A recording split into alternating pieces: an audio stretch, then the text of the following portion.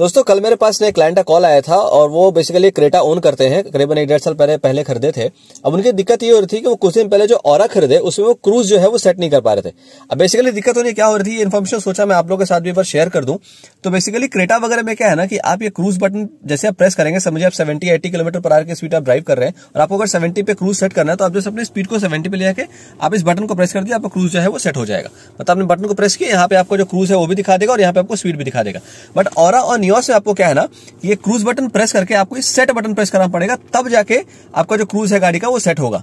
अब वो जैसे आपने ये ये बटन प्रेस किया, यहाँ पे आपको क्रूज दिखाया, अब आप फिर से ये सेट बटन को प्रेस कर दीजिए। तब जाके आपका क्रूज जो है, वो सेट हो जाएगा। ये जो प्लस और माइनस देख रहे हैं प्लस का क्या है? प्लस जब आप करेंगे तो आपका स्पीड जो है वो टू किलोमीटर पर आर की स्पीड से बढ़ेगा। और माइनस करेंगे तो फिर आपको टू किलोमीटर पर आर की स्पीड से वो कम होते रहेगा। आज इसका मतलब है फिर से आप क्रूज अगर उसको रीसेट करना चाहते हैं कैंसिल के बाद तो आप उसको फिर रीसेट भी कर सकते हैं।